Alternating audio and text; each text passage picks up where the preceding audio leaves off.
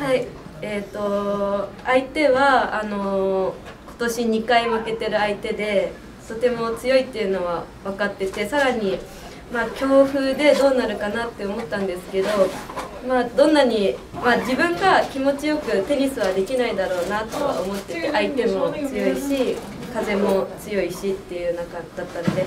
なのでどんなにま気持ち悪くても泥泥臭くポイントを取ろうって徹底して集中してたらだんだん自分のパフォーマンスが上がってで相手もちょっとミスが増えてきてくれたのでで最後、まあ、わずかな差で勝てたかなって思います。そうですね私の今の課題がその、まあ、相手が今回200位台だったんですけどそういう選手に対して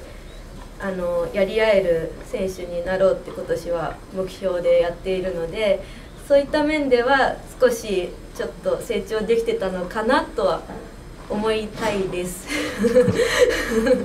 ま私結構ラリー戦になったら、まあ、本当に強打がない限りは結構やり合えるタイプだとは思っているのでやっぱり最初のサーブとかリターンまあ、自分まだまだそこは課題なんですけど、まあ、今回サーブも割と強風の中ではファーストサーブしっかり入れれたの入れれてラリー戦に持っていけたのとせかあ相手のリターンあじゃ相手のサーブ相手のサーブに対しても結構ポジション前に上げて鋭いリターンを返せたのでそういった面ではちょっと200位台とやり合えたんじゃないかなって思います。はいそうですねあんま泥を見ないタイプなんで相手わかんないんですけど 誰が相手でもあのここは私にとってちょっとホームな大会なので、えー、全力を出せたらいいなと思います。